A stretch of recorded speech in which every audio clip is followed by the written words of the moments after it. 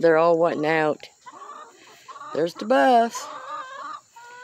There's the little ones over there. I'll let them out.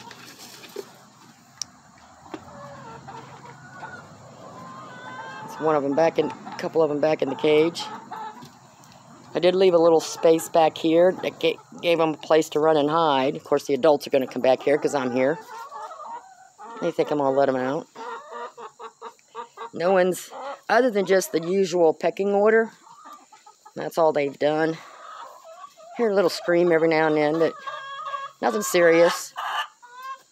My barred rock and one of my New Hampshires are really the only two brats I have. But all the pre-adults are over there where I threw some seeds down. So they're moving around. I got the cages open. See what happens tonight. They may just feel a little safer inside there since that's what they're used to. So they're going to stay locked up until they learn to get along and until the pre-adults learn that this is where they got to go. So they're over there in the corner. The big ones aren't going to bother them as long as I'm standing here because they think I'm going to let them out the door. No. You girls have to stay inside. Y'all locked up till you get along. Couple days, that's it. I'll let you out, okay? Okay? There's the buffs over there. So it's working. A, there goes one chasing. okay, that's all that happens.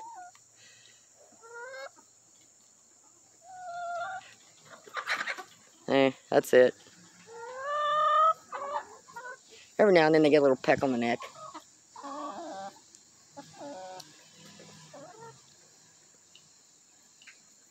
Got a little close to them adults, huh? It's them reds that can be bossy. Let's go keep an eye on them, make sure nothing's serious. So far, not. So, no, you can't come out right now. I'm so sorry. I'll try not to do this to you guys no more, okay? I'm only going to buy adult chickens from now on. See, here they come. They come behind here.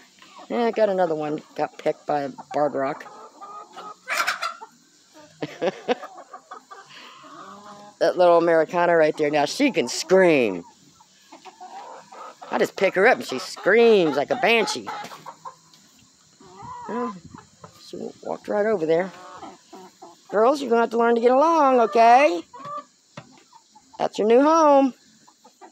As soon as you learn it's your new home, then y'all can free range again. And I can get rid of them kennels.